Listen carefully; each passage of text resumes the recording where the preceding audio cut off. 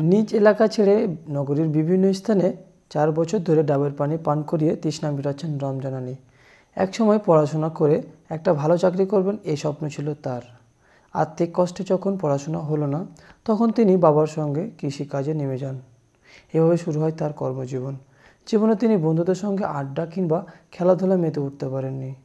তিনি এ পেশায় থেকে সংসারে হাল ধরেছেন। আজকের দিনে তাপমাত্রার জন্য আমি শরীরটাতে ডাবটা খাইলাম খাই আমি যা দেখে বুঝতে পারছি যে আমার নিজের দেহটার এখন শান্তভাবে দিনে থাকতে পারি। পঁয়ত্রিশ বছর বয়সী রঞ্জন আলীর বাড়ি রাজশাহী জেলার গোদাগাড়ি উপজেলায়। তার বাবা কৃষিকাজ করে সংসারে হাল ধরেছিলেন। সে সময় সংসারে তেমন আয় হতো না। তারপরেও তাকে স্কুলে পাঠানো হয়েছিল।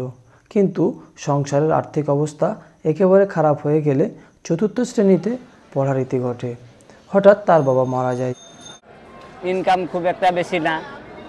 কবে দুশো হয়, কবে তিনশো হয়, কবে একশো হয়, কবে দেড়শো হয়। জমি জমা করি, দুটা ছেলে মেয়ে আছে, লেখাপড়া করাই। নিজে ধনকে লেখাপড়া খুব একটা বেশি না। অল্প লেখাপড়া থ্রিতে ধনকে ফোরে পড়েছিলাম। দিয়া ধনকে বাপ নাই, বাঁচিয়ে মারা গেছে। এখন ধনকে ডাবের ব্যবসাটা করছি, টুকটাক ধনকে এভাবে সংসারটা চলছে, এভাবে ছেলেপিলাকে লেখাপড়া করাচ্ছি। দিন ফেরি করে ডাবের পানি দিয়ে তৃষ্ণা মিটিয়ে টাকা আয় করে সন্ধ্যায় বাড়ি ফিরেন। বাড়ি ফিরে তিনি পরিবারে সময় দেন। এভাবে তার সময় কেটে যায়। এই ব্যবসা থেকে এক ছেলে, এক মেয়েকে পড়াশোনা করিয়ে মানুষ করতে চান তিনি।